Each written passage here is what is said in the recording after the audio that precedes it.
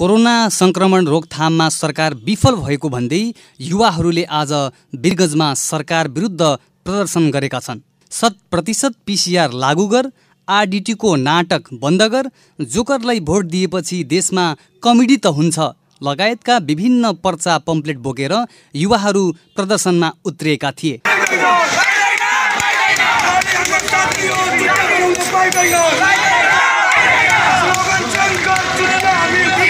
वीरगन्जको आदर्शनगर चोकबाट सुरु भएको प्रदर्शनलाई नियन्त्रणमा लिन नगरभरि प्रहरी परिचालन गरिएको थियो।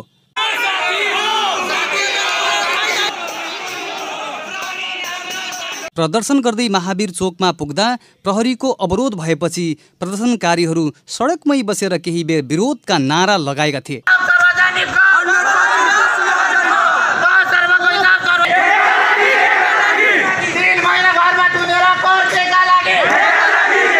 अस्सी दिनसम्म लकडाउन हुँदा पनि तीव्र रूपमा कोरोना भाइरस परीक्षण गर्न नसकेको लकडाउनका कारण मर्कामा परेका उद्योगी व्यवसायलाई राहत दिनुको सट्टा कर तिर्न उर्दी गरेर आहत बनाएपछि सरकारको चौतर्फी विरोध सुरु भएको छ। यो जुन नेपाल सरकारले जुन अहिले खास गरी जुन दस अर्ब कोरोना नियन्त्रणमा जुन खर्चको जुन विवरण सुनाएको छ त्यो चाहिँ के केमा कसरी खर्च भएको छ?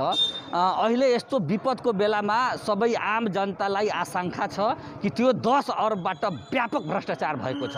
यो भ्रष्टाचारको एकदमै चरम सीमा नागेको अवस्थामा चाहिँ जनता स्वच्छ रूपमा अगाडि बढेको छ। त्यस्तै अहिले आरडिटी तपाईँको एकदमै फेल भइसकेको अवस्थामा त्यो टेस्ट गर्नको लागि पनि किटहरू किनिराखेको अवस्था छ र प्रयोग भइरहेको छ। त्यसमा पनि एकदमै भ्रष्टाचार छ। त्यस कारणले आरडिटीलाई छाडेर पिसिआर चाहिँ परीक्षण हुनु पर्यो त्यो हाम्रो माग हो। त्यसै गरी दस अर्बको विवरण के के हुनसक्छ त्यो हाम्रो डिमान्ड हो।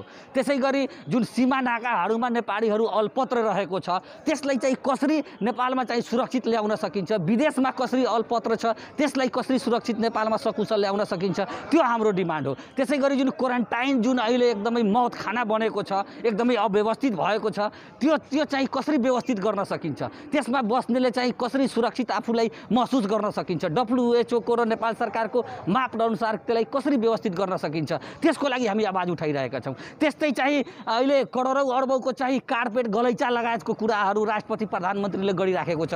तर आम गरिबहरू चाहिँ भोकै मर्नु पर् मर्नुपर्ने अवस्था आएको छ। ती विपणहरूलाई राहत खोइ त। शैली चौधरी आँसु सराफ ओम प्रकाश सराफ लगायतका युवाहरूको नेतृत्वमा बेरिगजमा प्रदर्शन गरिएको हो।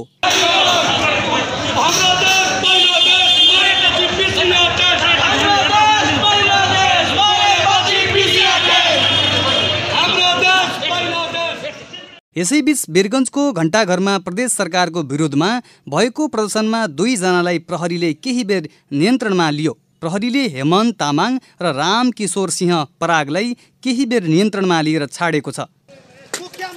राजीनामा दे। नालायक मुख्यमन्त्री प्रदेश नम्बर दुईका जनतालाई चाहिँदैन। सम्पूर्ण प्रदेश नम्बर दुईका सम्पूर्ण पार्टीहरू हामी सबै एकजुट हुन जरुरी छ। प्रदेश नम्बर दुईका मुख्यमन्त्री नालायक मुख्यमन्त्री हामीलाई चाहिएको छैन। एउटा जब पिसिआर मसिन सञ्चालन गर्न सक्दैन। एउटा प्रादेशिक कोभिड अस्पताल सञ्चालन गर्न सक्दैन। त्यस्ता मुख्यमन्त्री त्यस्ता प्रदेश सरकार हामीलाई चाहिँदैन। प्रदेश सरकार हामीलाई चाहिँदैन नालायक मुख्यमन्त्री चाहिँदैन। सम्पूर्ण प्रदेशवासी हामीलाई एकजुट हुन आवश्यक छ। प्रदेश सरकार हामीलाई चाहिँदैन यस्तो नालायक प्रदेश सरकार चाहिँदैन। सम्पूर्ण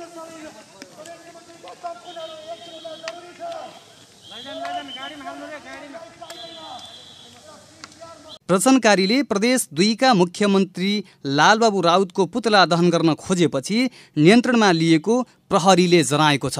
घन्टाघरमा यो दुई नम्बर प्रदेशको नालायक सरकारको विरोधमा जो चाहिँ जनकपुरमा स्यालको रूपमा चाहिँ आफ्नो दुलोभित्र पसेर बसेका छन् एउटा दुई नम्बर प्रदेशमा पिसिआर मेसिन आफ्नो के अरे हिम्मतबाट आफ्नो चाहिँ जनशक्तिबाट एउटा सञ्चालन गर्न नसक्ने पिसिआर मेसिन सञ्चालन गर्न नसक्ने र चेक जाँचका गतिविधिहरूलाई चाहिँ बनाउन नसक्ने यो प्रदेश सरकारको विरोधमा चाहिँ हामीले चाहिँ पुतला दहन लगायतका हामी नाराबाजी गर्दै त्यो प्रदेश सरकारको चाहिँ हामीले विरोध गरेका छौँ। खासमा हामीले आन्दोलन गरिरहँदा पुतला दहन गरिरहँदा मुख्यमन्त्रीको नेपाल प्रहरीका जवानहरूले नेपाल प्रहरीले चाहिँ हामीलाई दुईजनालाई चाहिँ गिरफ्तार गरेको थियो। म रामकिशोर सिंह पराग र हेमन्त तामाङ दुई सक्रिय युवाहरूले चाहिँ अ, वीरगञ्जको घन्टाघरबाट पक्राउ गरेको थियो र पक्राउ पश्चात ससम्मान आधी घन्टा पछाडि हामीले चाहिँ पुनः रिहा गरिएको थियो र पुनः हामी आफ्नो साथीहरूसँग कुराकानी गर्दै छलफल गर्दै हामी पुनः आफ्नो बाटोतिर लाग्यौँ।